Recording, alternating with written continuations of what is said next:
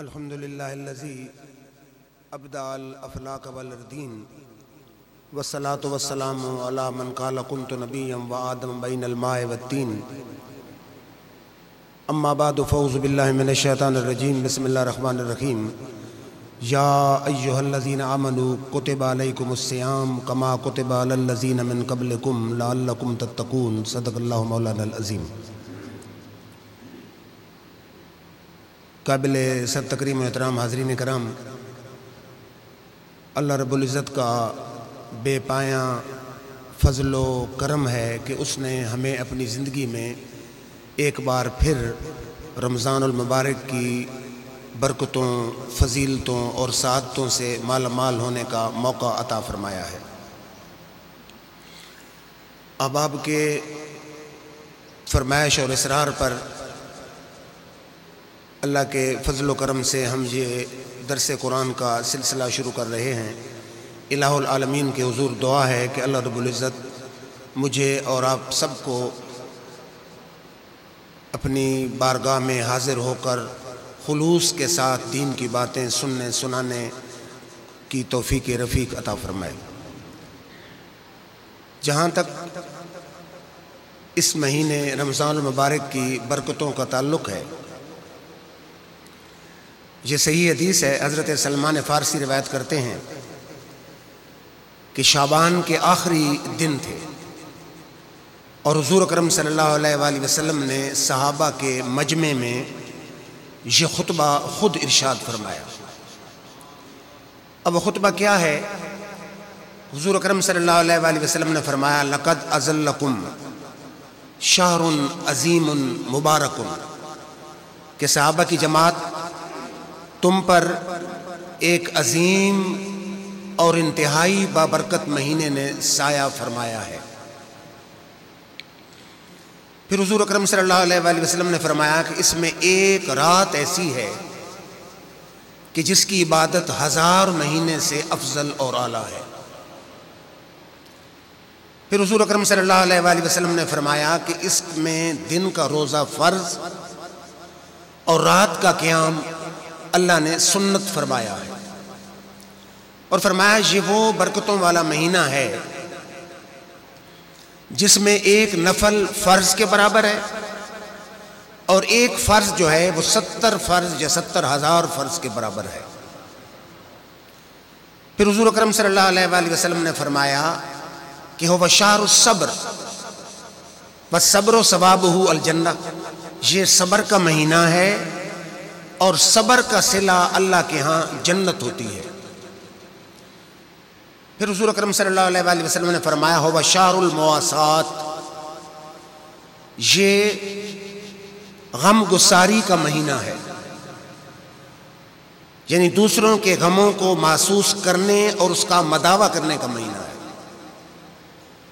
आपके और मेरे सामने है कि जो लोग दिन में तीन बार, चार बार, पाँच बार खाते हैं उन्हें कहाँ एहसास हो कि गरीबों की झोंपड़ियों में जहाँ कई कई दिन से फाका होता है, वहाँ गुरबत ने क्या हाल बना रखा होता है?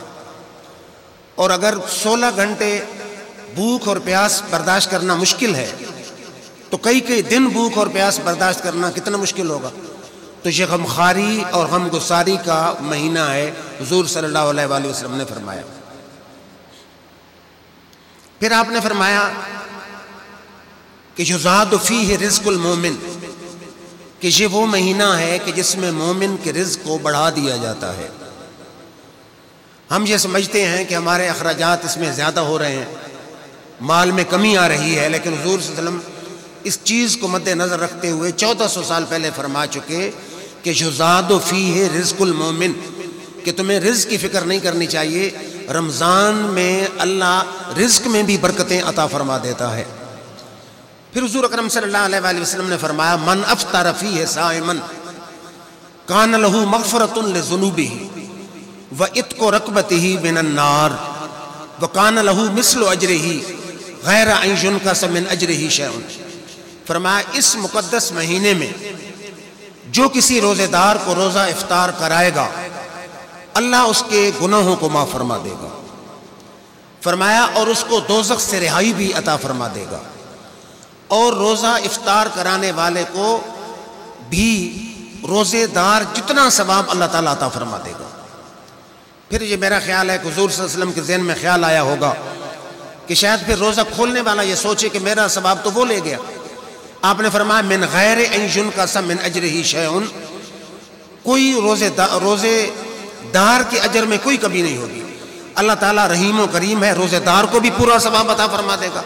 और रोज़ा इफ्तार कराने वाले को भी पूरा सवाब अता फरमा फिर मेरा ये जहन कहता है कि हजूर वसल्लम के जहन में ख्याल आया होगा कि शायद कोई सोचे कि पेट भर के खिलाना तो बड़ा मुश्किल है, कौन इतने अखराज बर्दाश्त करे?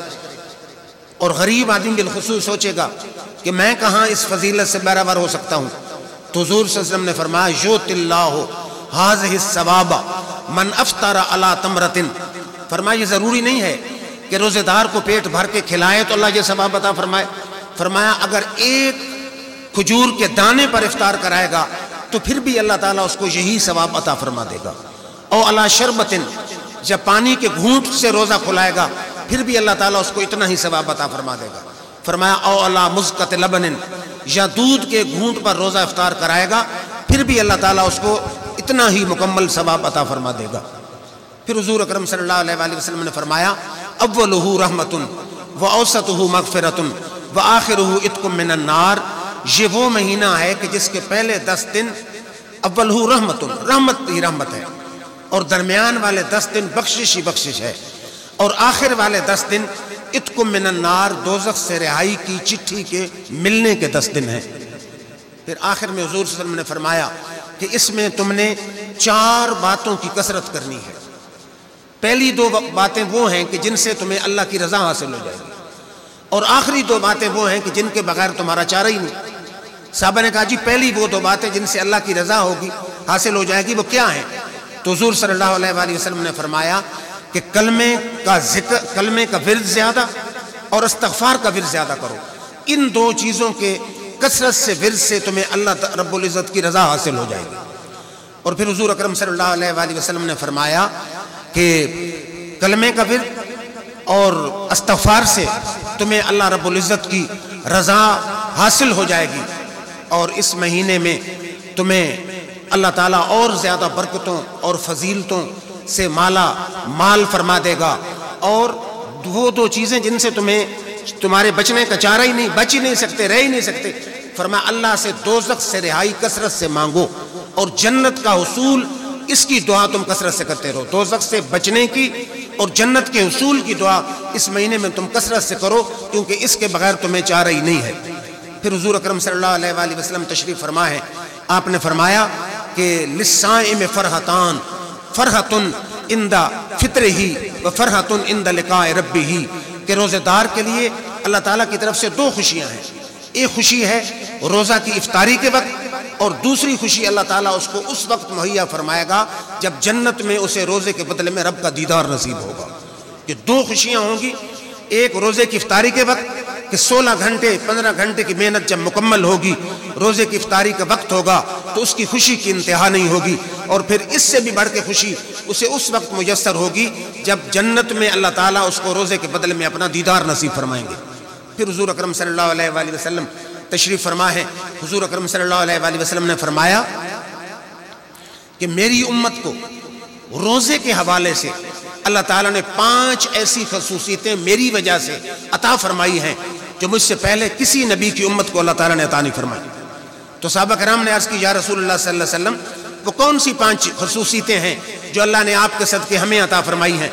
तो हजूर अक्रम सल्लल्लाहु वसल्लम ने फरमाया, पहली खसूसियत यह है कि रोज़ेदार के मुँह की जो बू होती है, अल्लाह ताला के नज़दीक कस्तूरी से भी अफजल आला है। पहली ये खसूसियत है कि रोज़ादार जब रोज़ा रखता है, खाता पीता कुछ नहीं है तो उसके मुँह से बू आती है, जिससे वो खुद भी मुतनफ़िर होता है। लेकिन इलामीन फरमाते हैं, दुनिया ऐसे पसंद करे न करे चूँकि उसने मेरी रजा की खातिर रोज़ा रखा है, मेरे नज़दीक ये कस्तूरी से भी अफजल वाला है।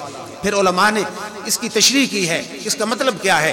कि रोज़ेदार जब अपनी कब्रों से निकलेंगे तो उनके मुँह से उस वक्त कस्तूरी से बढ़ के खुशबू आ रही होगी मैदान जन मैदान मशर। फिर दूसरी हजूर ने फरमाया कि जब रोज़ेदार रोज़ा रखता है तो सुबह से लेकर शाम तक पानी की मछलियाँ उसके लिए अल्लाह से दुआ मफरत करती रहती हैं। रख, रोज़ा रख अपने लिए रहा है, लेकिन अल्लाह ने इस उम्मत को क्या खसूसियत अता फरमाई है कि पानी की मछलियाँ सुबह से लेकर शाम तक उसके लिए दुआ मफरत कर रही हैं। और तीसरी खसूसियत ये है कि अल्लाह ताला जन्नत को सजाने का हुक्म देता है, फरिश्तों, जन्नत को सजाओ, इसमें रोजेदार आने वाले हैं। पूरा साल अल्लाह ताला के हुक्म से फरिश्ते जन्नत को सजाते रहते हैं। और तीसरी ये खसूसियत है कि जो शयातीन हैं, सरकश शयातीन को इस महीने में अल्लाह ताला के हुक्म से उन्हें पाबंदे सलासिल कर दिया जाता है कि वो लोगों के जहनों में विस्व से न डाल सकें, बुराई की तरफ़ मायल न कर सकें, इस महीने की बरकत से उन्हें पाबंदे सलासिल कर जाता, कर दिया जाता है। और आखिरी खसूसियत ये है कि अल्लाह ताला आखिरी फरमाया कि इसकी आखिरी रात में सबकी बख्शिश फरमा देता तो साहब कराम ने कहा, जी, आखिरी रात से क्या मुराद है? तो हजूर, क्या लैलतुल कदर है? आपने फरमाया, नहीं, दुनिया में असूल है कि जब मजदूर अपनी मजदूरी पूरी करता है तो उसको मालिक सिला पूरा देता है।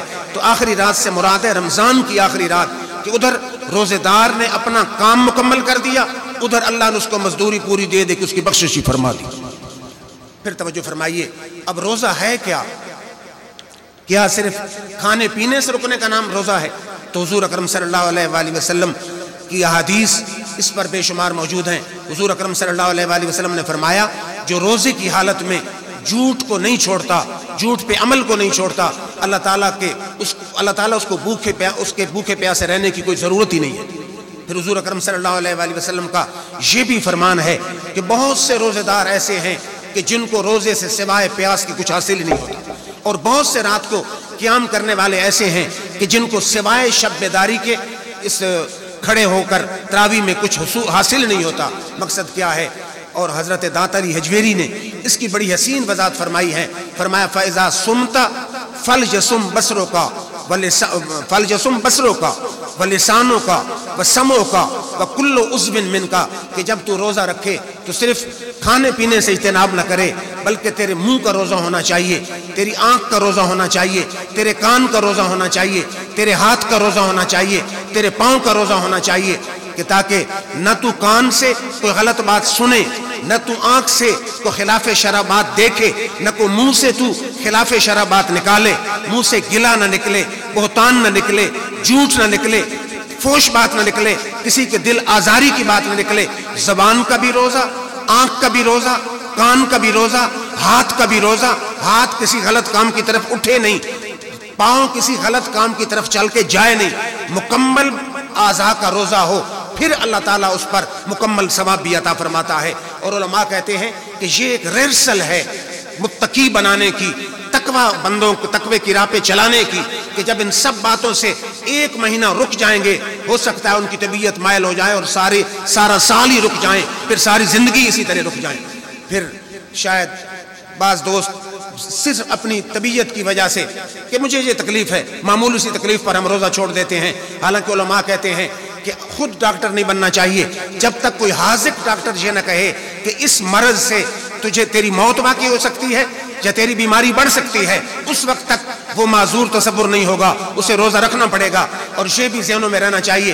हजूर ने फरमाया, जो बिला किसी उजर के, या बिला किसी बीमारी के रोजा छोड़ दे रमज़ान का, फिर सारी ज़िंदगी रोज़े रखता रहे तो सारी ज़िंदगी के रोज़े रमज़ान सबाब में रमज़ान के एक रोज़े का भी मुकाबला नहीं कर सकते। तो इसलिए हमें कोशिश करनी चाहिए कि इस महीने में जिसकी बरकतों की कोई इंतहाई नहीं। हम अपने रोज़े रखें, फ़र्ज़ भी अदा करें और अल्लाह ताला के इस चलते हुए रहमत, बरकत फैज़ान के दर्जा से अपने दामन को भी माला माल कर लें।